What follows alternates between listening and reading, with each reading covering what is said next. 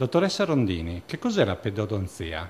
La pedodonzia è quella branca dell'odontoiatria che si occupa della prevenzione e dello studio dei denti decidui e permanenti dei piccoli pazienti. Dottoressa, a che età è giusto cominciare a portare il proprio figlio dal dentista? Allora, normalmente noi consigliamo, se un fratellino ha dei fratelli più piccolini, quando viene a fare le visite o i controlli, di portarli con loro, in modo che cominciano a prendere già confidenza con gli operatori, con l'ambiente e quindi verranno, quando toccherà loro, molto più serenamente. Altrimenti la prima visita di solito è molto consigliata verso i 4 anni e mezzo, 5, quando comincia il periodo della prevenzione e il bambino è già abbastanza grandicello da riuscire anche a fare le prime cure odontoiatriche nel qual caso ce ne fosse bisogno.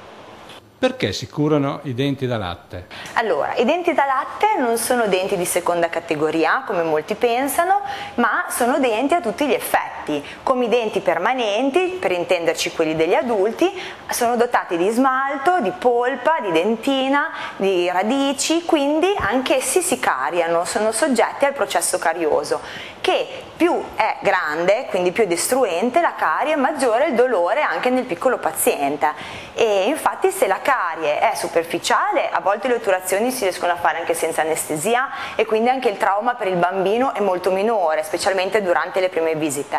A volte invece se la carie ha interessato molto i tessuti, il bambino magari arriva alla prima visita già con la faccia gonfia per una chassi in corso e lì è molto più complicato perché il dolore è elevatissimo elevatissimo e il bambino può avere anche un rialzo febbrile importante. Quindi di solito si consiglia sempre di venire ai controlli ogni sei mesi per riuscire a prendere le patologie dentistiche quando sono agli inizi, perché questo per il bambino aiuta moltissimo, specialmente anche dal punto di vista emotivo.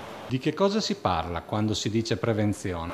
Allora, la prevenzione si divide in tre grandi capitoli. Il primo è la motivazione all'igiene. Il bambino da piccolo, quando viene qua alle prime visite, eh, gli viene insegnato che spazzolino usare, eh, quanto deve essere grande la testina dello spazzolino, come deve essere il movimento per spazzolare i denti, quante volte questi vanno spazzolati e quindi diciamo comincia a entrare nel mondo dell'igiene dentale. A volte gli diamo anche degli opuscoli, dei giornalini, questo è fatto con Topolino, in modo che lui poi a casa se lo guarda insieme ai genitori e impara, insomma leggendolo ricorda quello che il dentista gli ha detto. Poi c'è eh, come secondo grande capitolo la sigillatura dei solchi dei denti permanenti. Normalmente si parla dei molari e dei premolari.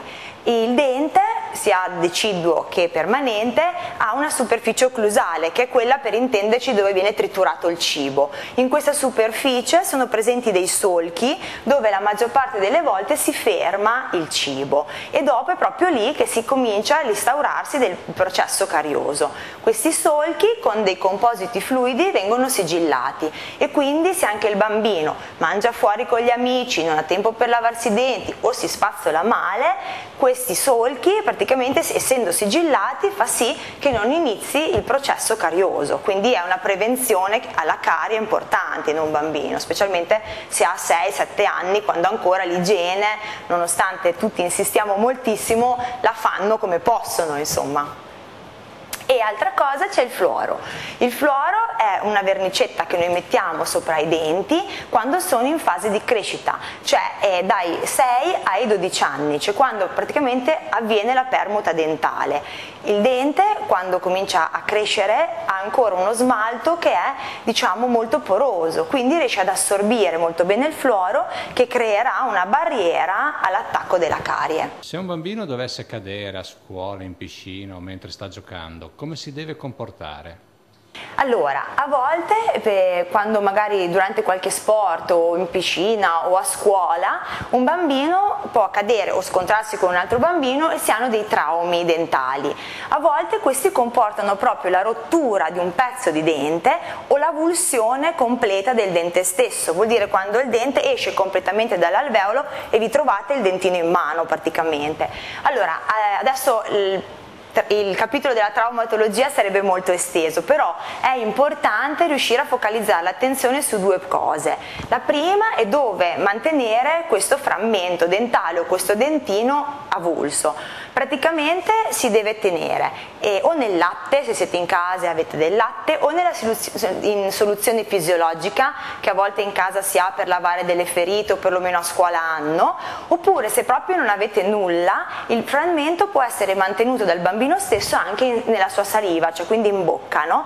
L'importante è che non lo mettiate mai al secco, quindi tipo in un fazzolettino di carta o in un fazzoletto normale di stoffa ed è fondamentale il tempo che intercorre fra la caduta e l'arrivo dal dentista perché la buona riuscita del trattamento poi qua in sede odontoiatrica è indirettamente proporzionale al tempo trascorso dal trauma.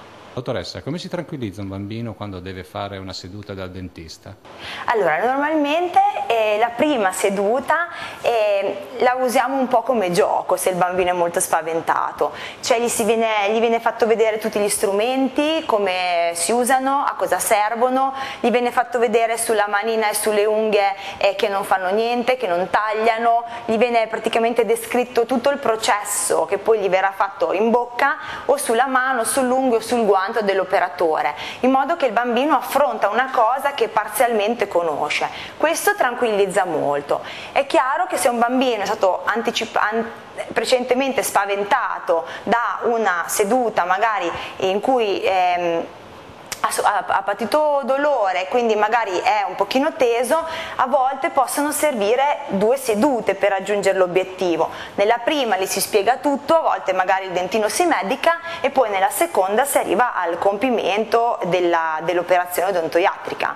Comunque è fondamentale a un bambino dire sempre la verità, cioè noi difficilmente diciamo a un bambino guarda non sentirai male se lo sentirà, cioè cerchiamo di dire le cose eh, in maniera da bambino bambini, insomma perché un bambino no, non è un piccolo adulto ma è un bambino, però spiegandogli tutto, dicendogli sempre la verità, abbiamo sempre ottenuto dei buonissimi risultati.